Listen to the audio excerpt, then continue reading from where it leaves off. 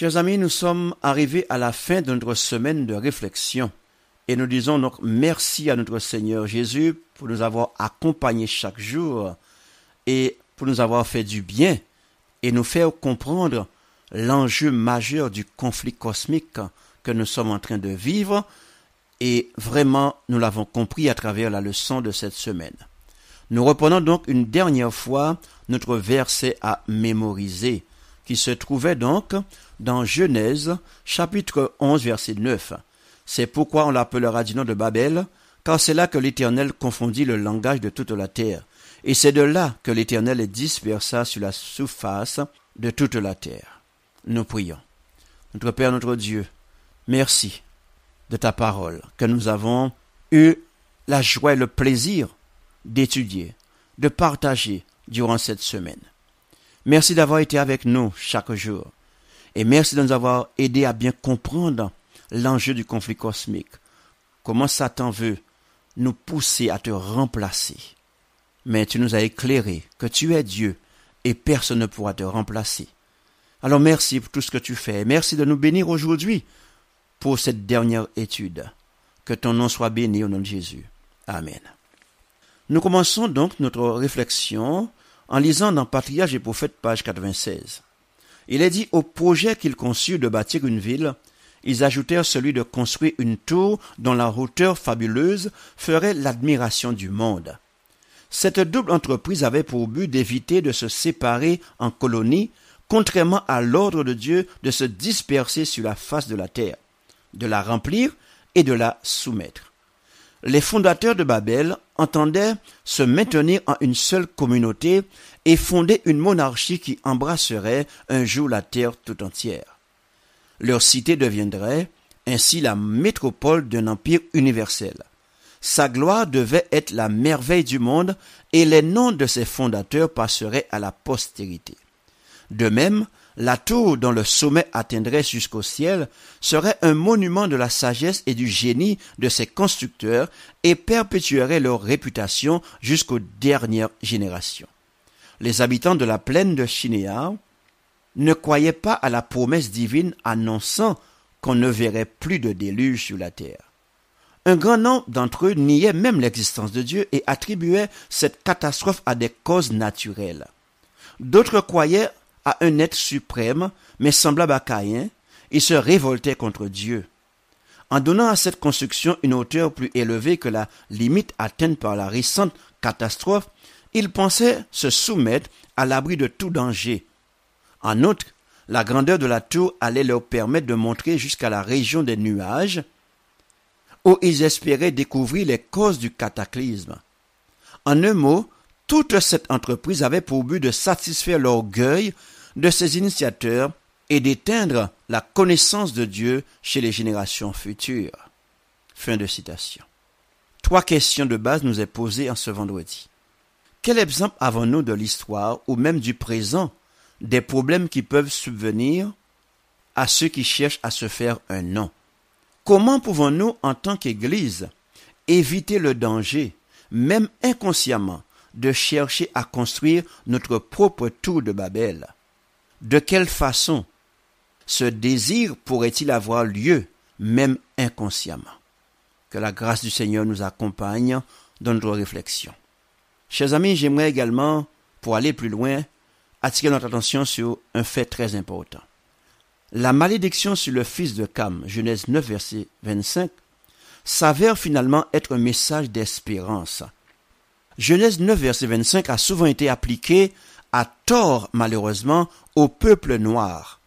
Et cela a donc été utilisé comme une justification religieuse de l'esclavage. Cependant, cette interprétation n'est pas biblique pour deux raisons. Premièrement, la malédiction ne concerne pas Cam, mais son fils Canaan. Cette malédiction ne concerne pas non plus Cush, le fils premier-né de Cam, ce qui exclut d'emblée la référence aux personnes noires et aux Africains en particulier. Pourquoi est-ce important de bien comprendre cela? Parce que les généalogies bibliques, selon Genèse chapitre 10, relèvent davantage de l'ethnogéographie, c'est-à-dire de la répartition géographique des groupes humains que de l'ethnicité qui traite de l'origine des races humaines et des langues. La notion même de race, chers amis, dérive des théories racistes et linguistiques pseudo-scientifiques fondées sur la théorie de l'évolution est un autre mal issu de ce mythe moderne de la création. Ainsi, les désignations bibliques de groupes de personnes comme Japhétites, Sémites ou Chamites ne suivent pas des critères clairs de race tels que définis par l'évolution, mais sont beaucoup plus complexes et flous. Par exemple, bien que les langues cananéennes soient sémitiques, Canaan est comparé parmi les Chamites ou les Kamites. Bien que Cush soit un descendant de Cam, il est le père de Nimrod, le fondateur de Babel. Et l'âme qui appartient à un peuple non sémite est un fils de Sem. La deuxième raison pour laquelle Genèse 9.25 ne s'applique pas aux Noirs est que la référence à Canaan est une allusion à l'héritage de la terre promise, avec tout ce que cette terre symbolise concernant la promesse du salut pour le monde. Dans ce contexte, l'utilisation de l'expression serviteur des serviteurs est ironique. Serviteur des serviteurs est un superlatif signifiant le serviteur par excellence et suggère une direction spirituelle pointant vers Jésus, le serviteur des serviteurs qui viendra sauver le monde. Donc, en résumé, chers amis, les nations s'unissent pour essayer de prendre la place de Dieu. Dieu répond en jugement sur eux, et par la confusion qui en résulte, les gens se dispersent dans le monde entier, accomplissant ainsi le plan originel de Dieu de remplir la terre. Nous avons dit que malgré la méchanceté humaine, Dieu transforme le mal en bien. Il a comme toujours le dernier mot. Alléluia. Nous avons vu que la généalogie biblique a trois fonctions. Tout d'abord, elle souligne la nature historique des événements bibliques qui sont liés à des personnes réelles qui ont vécu et sont mortes et dont les jours sont comptés avec précision.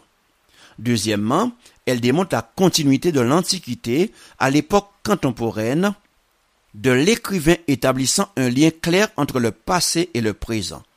Troisièmement, elle nous rappelle la fragilité humaine et l'effet tragique de la malédiction du péché et de ses résultats mortels sur toutes les générations qui ont suivi.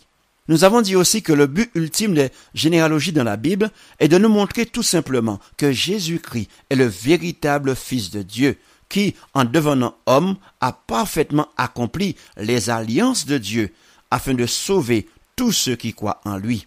Alléluia. Nous avons vu aussi que la descendance de Dieu nous rappelle aussi le principe de la justice par la foi et le processus de la grâce de Dieu. Quelle que soit l'œuvre que nous accomplirons pour Dieu, il devra encore descendre pour nous rencontrer. Alléluia. Ce n'est pas ce que nous faisons pour Dieu qui nous amènera à lui et à la rédemption. Au contraire, c'est le mouvement de Dieu vers nous qui nous sauvera. Alléluia.